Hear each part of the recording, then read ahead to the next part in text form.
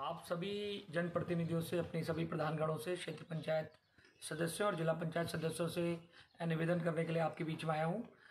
आप सभी लोग जान रहे हैं कि बहुत बड़ी संख्या में हमारे प्रवासी भाई लोग जो बाहर रह रहे थे, अन्य राज्यों में रह रहे थे, उत्तराखंड से वो सभी बड़ी संख्या में यहाँ उत्तराखंड में आ रहे हैं और एक बड़ी समस्या उनको होम क्वारंटीन करने की हमारे बीच में, सभी के बीच में आ रही है। सभी प्रधान लोग इसके लिए चिंतित हैं और गाँव के लोगों में भी चिंता होना स्वाभाविक है।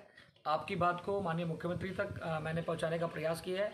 जिलाधिकारी जी को भी मैंने कहा है कि कई लोग ऐसे हैं जिनके जो बहुत लंबे समय के बाद आज अपने गाँव को लौटें और घर में रहने के लिए उनके पास स्थान नहीं है। किसी के पास एक कमरा है और किसी के पास एक भी कमरा नहीं है। ऐसे में अगर वो अपने गाँव में जाते हैं तो ये निश्चित तौर पर अगर कोई भी आदमी में लक्षण है तो वो औरों को भी होंगे। तो इसके लिए स्कूल में, जैसे आप लोगों की मांग थी कि स्कूल में उनको क्वारंटीन किया जाए तो ये बात मैंने आपके आपकी इस बात को माननीय मुख्यमंत्री तक पहुँचाने का प्रयास किया है। आज माननीय शिक्षा मंत्री जी का अटल जनसंवाद कार्यक्रम था।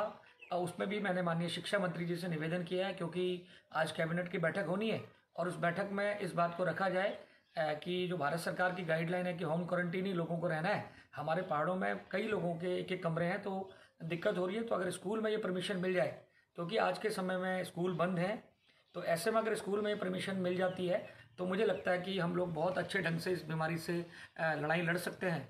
ये निवेदन मैंने माननीय मुख्यमंत्री तक पहुँचाने का प्रयास किया है। इसके साथ ही मुझे आप लोगों से एक निवेदन और करना है कि आप सब लोग जानते हैं कि हमें अफवाहों से बचना है। आज जो हमारी लड़ाई है, वो बीमारी से है।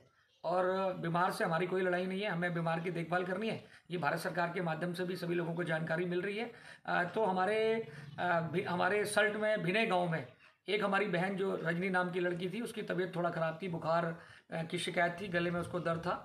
तो उस बहन ने स्वयं, बहुत निडरता के साथ मैं उसको धन्यवाद भी दे रहा हूँ, स्वयं उसने डॉक्टर को बताया कि मेरी तबीयत खराब है।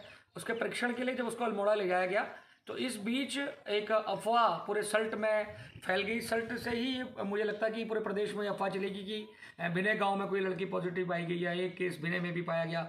इस तरह की अफवाह, और आप लोग जानते हैं कि बिने नाम के कई सारे गाँव हैं। हमारे बगल में एक सल्ट ब्लॉक में तो तारीख एक ब्लॉक में भी बिने गाँव है। और ये जगह जगह चर्चा चलने लगी कि बिने में भी एक पॉजिटिव केस आया। तो मैं आप लोगों से निवेदन कर रहा हूँ और आपके माध्यम से उस लड़की को मैं धन्यवाद भी कर रहा हूँ, जिसने बहुत निडरता के साथ स्वयं डॉक्टर को कहा कि मेरी तबीयत खराब है। ऐसा मैं अन्य सभी लोगों से भी निवेदन कर रहा हूँ कि अफवाहों से हमें बचना है। अगर किसी भी व्यक्ति में ऐसे लक्षण पाए जाते हैं तो एक अच्छे जनप्रतिनिधि होने के नाते उसे डॉक्टर साहब से उसका चेकअप कराने की हमारी ज़िम्मेदारी है। और ये बात हमें कहीं और किसी को ना बताकर सिर्फ़ डॉक्टर साहब को बताना है। और बहुत ज़्यादा आपको लगता है तो विधायक के तौर पर मुझे या अपने एसडीएम साहब को आप बता सकते हैं। उसकी जाँच हम लोग करा लें। जाँच होने के बाद ही हम लोग किसी निर्णय पर जाएँ। क्योंकि अगर अफवाहें बढ़ेंगी तो इसके लिए निश्चित तौर पर सबके लिए चिंता की विषय होगी और गाँव में रहने वाली जो हमारी माँ बहनें हैं, वो बहुत ज़्यादा चिंतित भी बहुत जल्दी हो जाती हैं। तो मैं आप सब जनप्रतिनिधियों से निवेदन कर रहा हूँ कि इस लड़ाई में सबको हम मिलजुल कर लड़ना है और इस समय जीत हासिल करनी है और आपकी बात को बहुत प्रमुखता से मैंने माननीय मुख्यमंत्री तक पहुँचाया है। अगर हमें स्कूल में क्वारंटाइन करने की परमिशन मिलती है तो फिर मैं आपको इसकी सूचना दूँगा। तो बहुत आप सब लोगों को धन्यवाद करता हूँ। बहुत बहुत धन्यवाद।